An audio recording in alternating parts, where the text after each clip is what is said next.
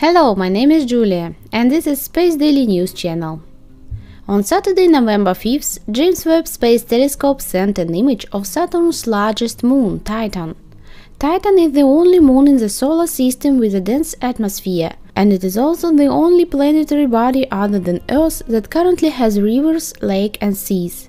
Unlike Earth, however, the liquid on Titan's surface is composed of hydrocarbons, including methane and ethane, not water. Its atmosphere is filled with thick haze that obscures visible light reflecting off the surface. Astronomers had waited for years to use Webb's infrared vision to study Titan's atmosphere, including its fascinated weather patterns and gaseous composition, and also see through the gas to study albedo features on the surface.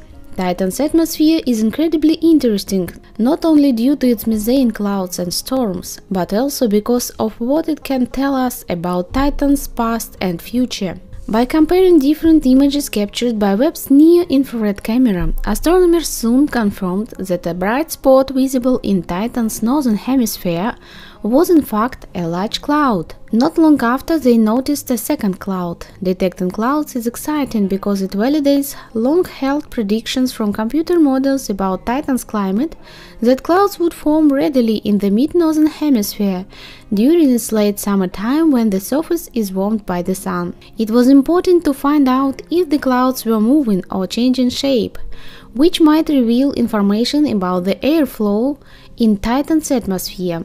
So, scientists quickly reached out to colleagues to request follow-up observations using the observatory in Hawaii. The observations were a success. Two days later, astronomers find out that there were clouds at the same positions, looking like they had changed in shape, thus obtaining confirmation of seasonal weather patterns. Scientists also collected data with Webb's near-infrared spectrograph, which will give them access to many wavelengths that are blocked to ground-based telescopes. This data will enable to really probe the composition of Titan's low atmosphere and surface in ways that even the Cassini spacecraft could not, and to learn more about what is causing the bright features seen over the south pole of Titan.